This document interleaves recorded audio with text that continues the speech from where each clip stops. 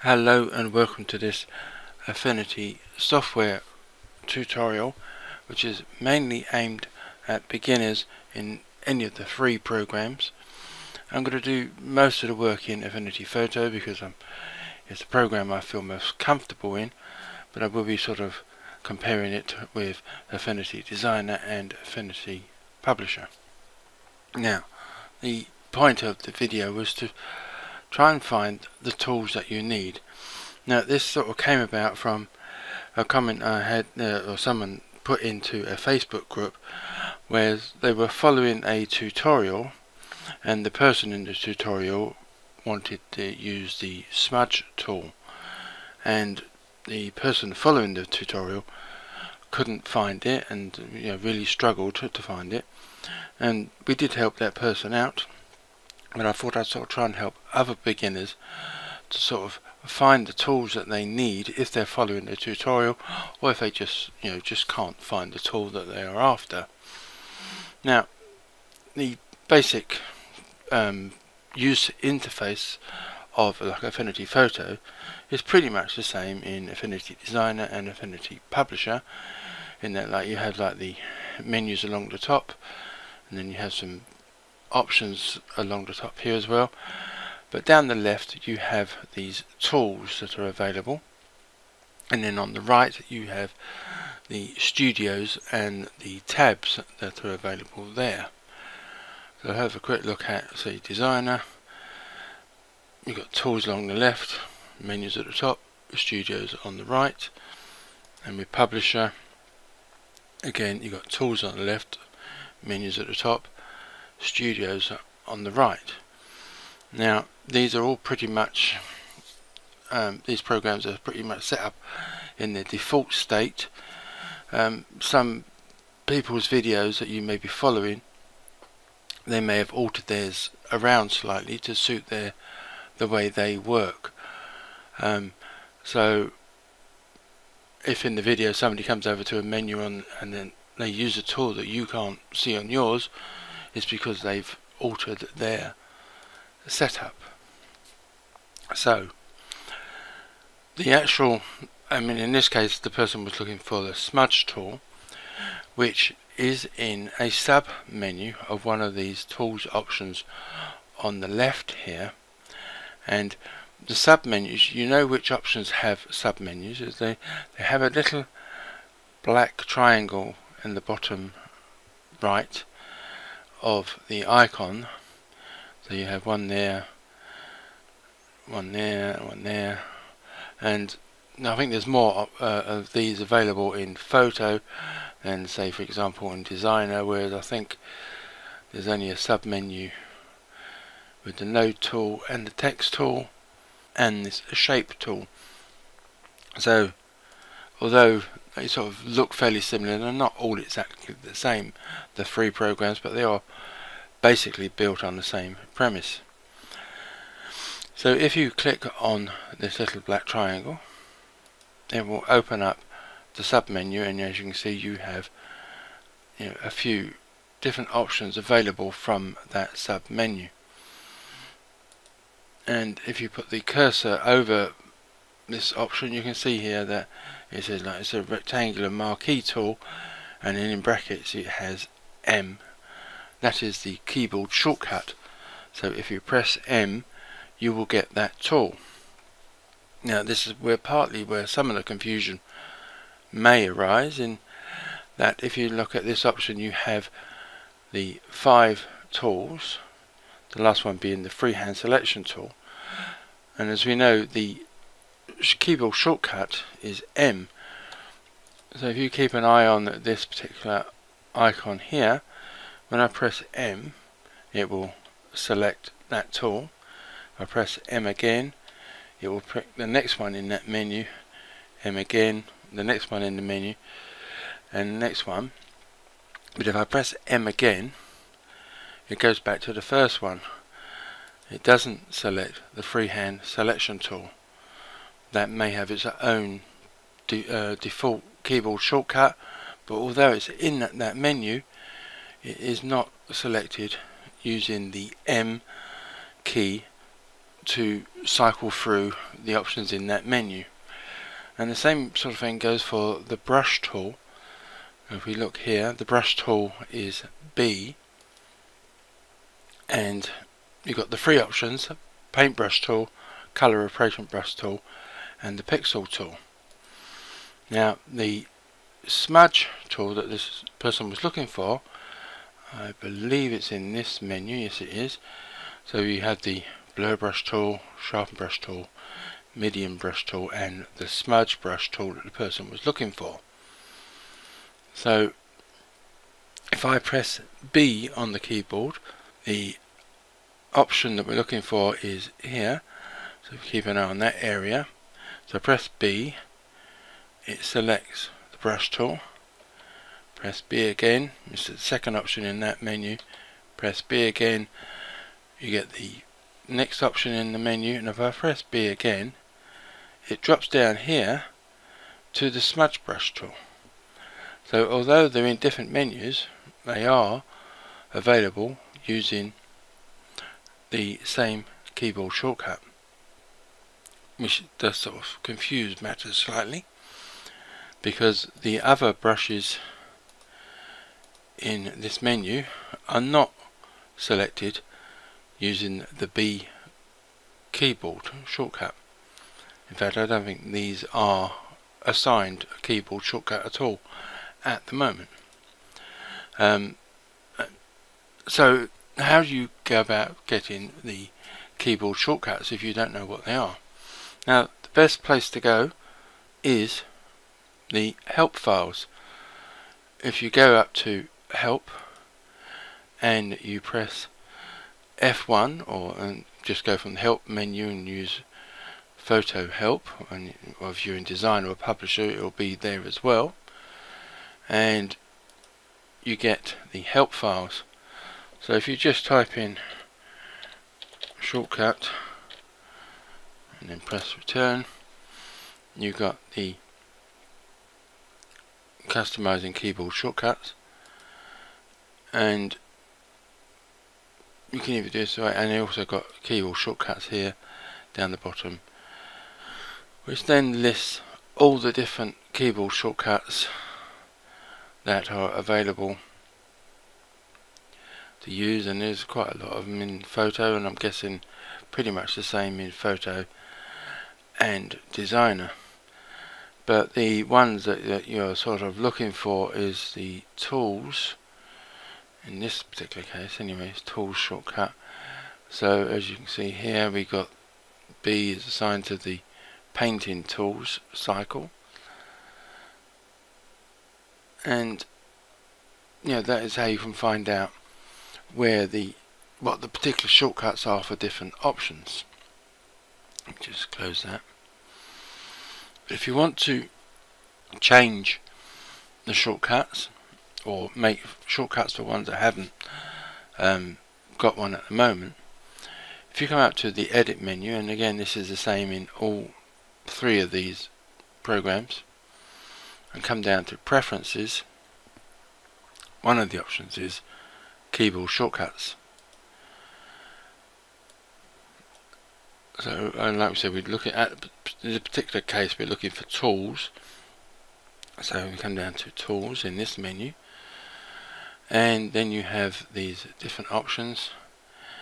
And we come down to the color replacement brush tool as you can see is currently assigned the letter B. Now over here you have these little triangle uh, arrows I should say which denote that B is to assigned to more than one tool. You put the cursor over that it will tell you all the items that, that are assigned to that tool. So I come to the M and see you've got all the marquee tools. Now all these blank ones do not have a uh, keyboard sh shortcut assigned to them at this present moment in time. So you could just I'm trying to find one that I might want. Well let's go. I, I, I'm not I don't necessarily need a new shortcut so I'm gonna going to um, not actually enter one but you enter the letter you want to use. And if it's already been used these little arrows will come up and you will know that it's assigned to more than one uh, tool but it's best to find a letter that's not been used before but that's a sort of trial and error. And then once you've assigned it and press return you can then close this and that option will then have a keyboard shortcut. Now there is also a way to get the tool that you want in the toolbar down the side here and if you for that you need to come up to the view menu and click on that and come down to customize tools. And you click on that and it will open up this panel which obviously will look different in the different programs because they have different tools. And here we have the icons for all the available tools. For this particular persona it may be different on the different persona but you can still do the same if you want to you know like the liquify persona or a develop persona or whatever persona you are in in one of the other programs now as you can see like you've got the marquee tool you've got the icon for that with a little drop down menu or you can have the marquee tool if you use that all the time you can just click and drag that icon and put it down here in the tools bar. Now me personally, one that I use quite a lot is the high pass filter tool. So if I click on that and drag that down, put it down there, then that will be constantly in there and I don't have to keep going up to filters to get the high pass tool. Now these aren't sort of named as such so you'll have to put the cursor over each one to find the one that you want. But the smudge brush tool is if I remember rightly is a hand that one there. Yeah so I could just click on that drag it down and put it here. Now one tool that is very handy it's not technically a tool I guess but it is very handy to have is the color options which are over here. Now they are not available as it currently stands um, on the left.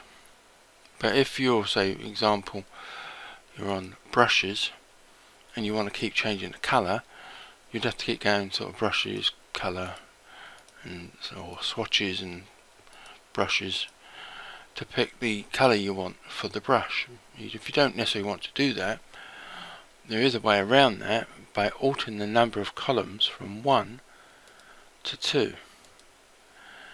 And then if you then close this option, that colour thing will now be here on the left so all your tools will be squashed in, well not squashed, but sort of placed into two columns and there's now then enough room to have the color options on the left.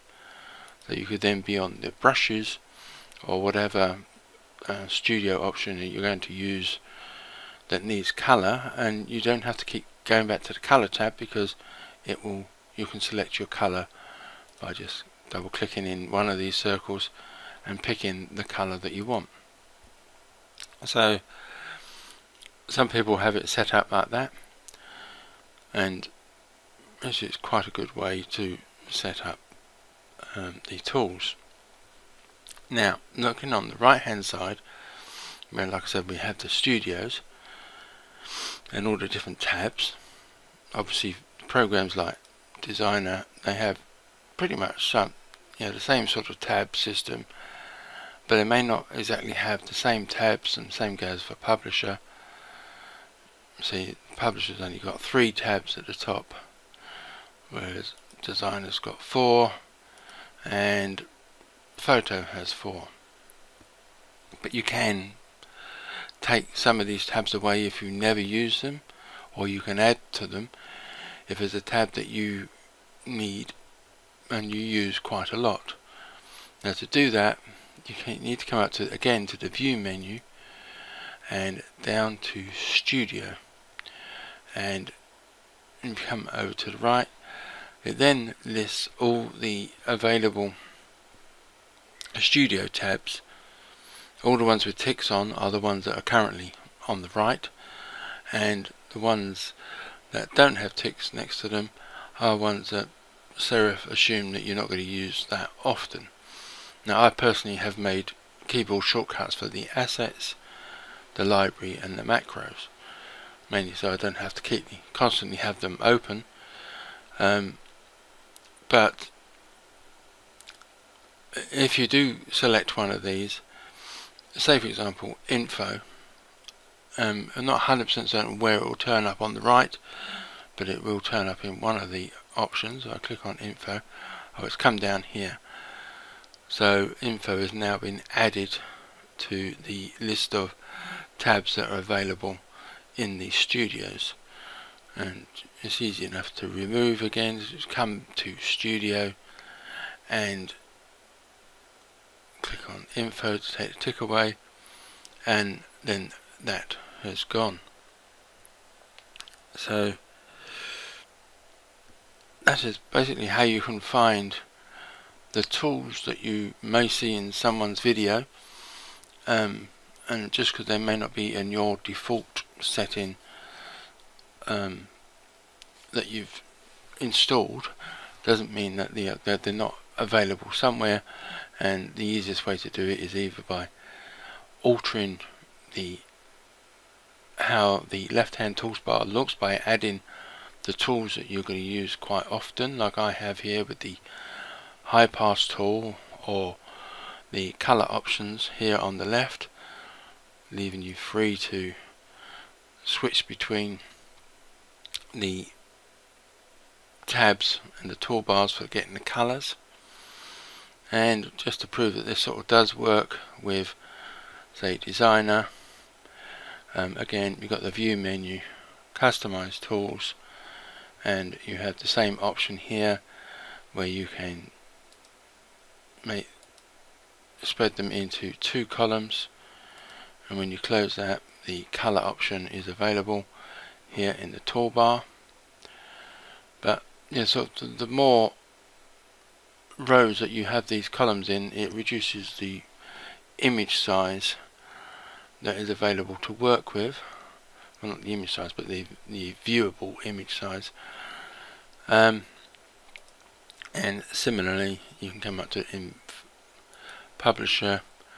Again you've got customized tools so you've got all the tools that are available that you can drag down and put on the tools bar here. Or again no, you could change the number of columns. I won't bother in this particular case because it don't change color so much with publisher because mainly most of it is text. And the, so I leave that as it is. But again from the views menu you have the studio tab in publisher and you can decide which studio tabs you have or don't have. And the same goes for designer view studio and then you have the options. And basically photo designer and publisher. They all pretty much look the same and they pretty much work in the same way. In the you know the various tools may be different but the way you access them is pretty much the same. So that's pretty much it really. Um, I hope this has helped someone. Um, but if you do have a problem you just drop me a line or you know a message on this video. And if I can help you find the tool you're looking for I will try and help you out. So thank you for watching and goodbye